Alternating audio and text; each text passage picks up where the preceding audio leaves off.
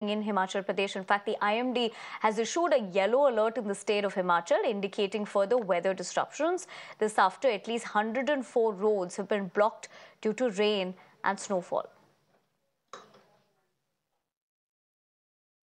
All right, Poonam, my colleague, joins me for more inputs. Poonam, good morning. Clearly, with uh, the yellow alert that's now come into a focus, uh, what do we know about what it's looking like on ground for Himachal?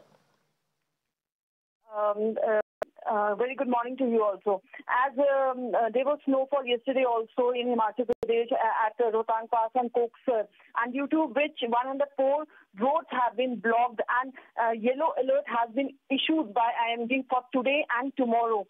And uh, uh, there will be thunderstorm with lightning at isolated places on April 23 and 20, 22 and 23 in several parts of Himachal. So, uh, as yellow alert has been issued in Himachal Pradesh, higher altitude areas will receive snowfall and lower there will be rainfall. Uh, and uh, uh IMD has also predicted that till April 27, there will be bad weather and there can be worse uh, weather in Himachal Pradesh. Over to you now.